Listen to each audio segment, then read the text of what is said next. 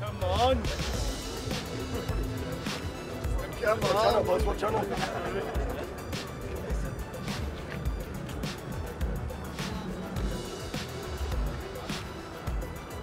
I think we'll be better. I think we'll, we'll improve as we go through.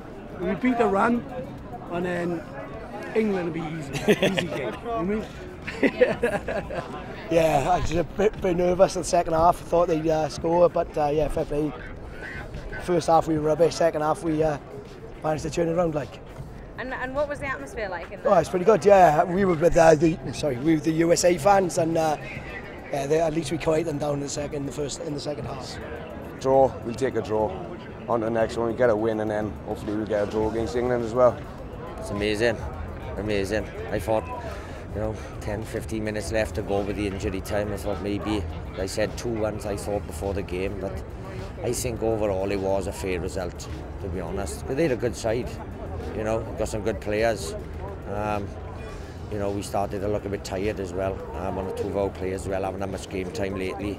So, yeah.